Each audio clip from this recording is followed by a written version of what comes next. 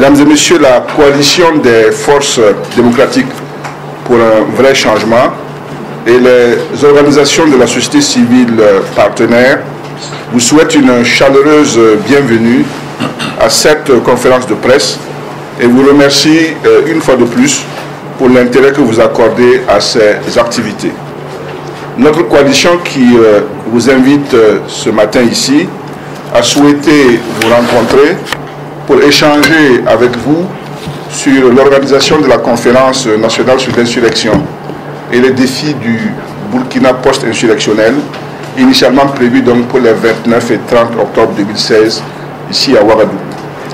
Pour euh, animer cette conférence de presse, je suis en compagnie de M. Chiaka Koulibaly, qui n'est plus à présenter, qui est président du comité TEN, et du député Léon Zagré, ici présent, qui est donc président du comité d'organisation. En rappel, la conférence euh, nationale sur l'insurrection et les défis du Burkina post-insurrectionnel, organisée donc par euh, une coalition de partis politiques dénommée Coalition des forces démocratiques pour un vrai changement,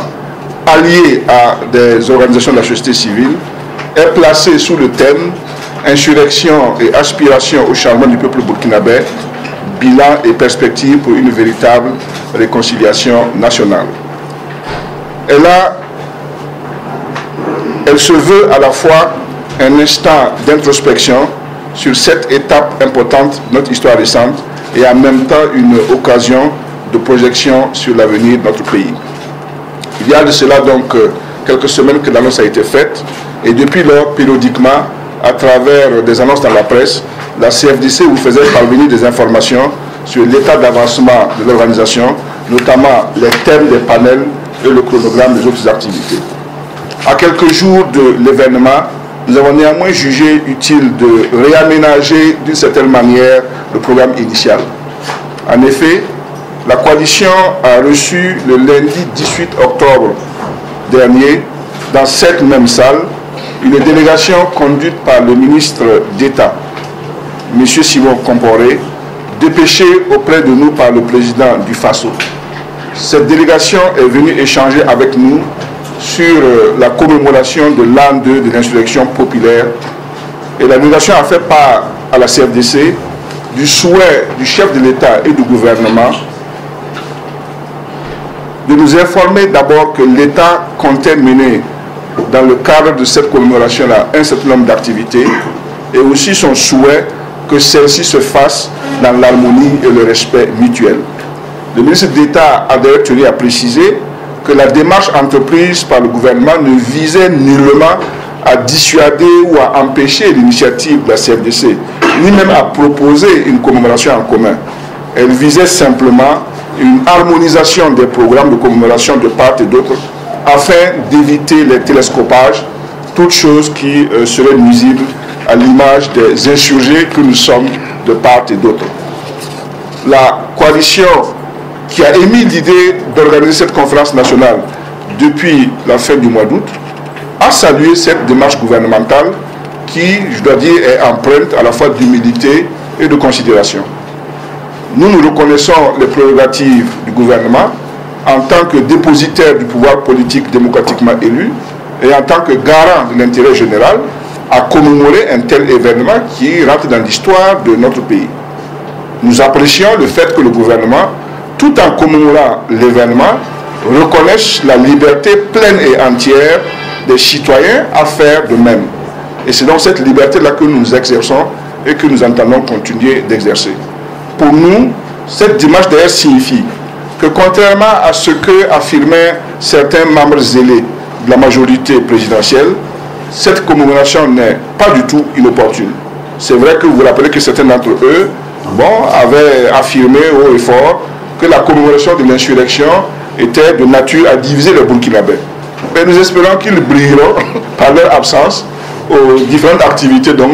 prévues maintenant par leur propre gouvernement dans ce cadre-là. Après la visite du ministre d'État, notre coalition a analysé un peu les échanges que nous avons eus avec lui et le message du président du FASO. Et dans le souci de ne pas insulter la mémoire de nos camarades tombés euh, au champ d'honneur, tout en réaffirmant, comme c'était bien entendu notre liberté de citoyen donc, à commémorer cette insurrection-là, nous avons décidé d'opérer quelques réajustements donc, dans le programme qui avait été initialement arrêté. C'est ainsi que nous avons décidé de ne plus faire une commémoration isolée de recueillement,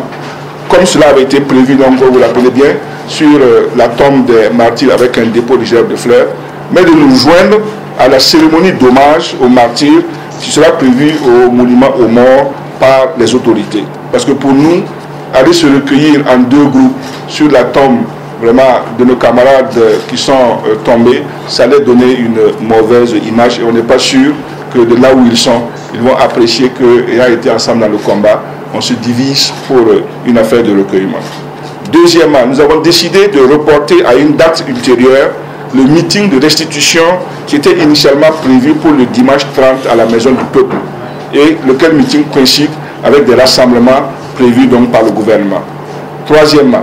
nous avons décidé de maintenir intégralement en fait le cœur de notre programme, c'était ça le cœur de notre programme, à savoir les discussions de panel qui ont lieu au Conseil burkinabé des chargeurs CBC dans la journée et une partie de la nuit du samedi 29 octobre prochain.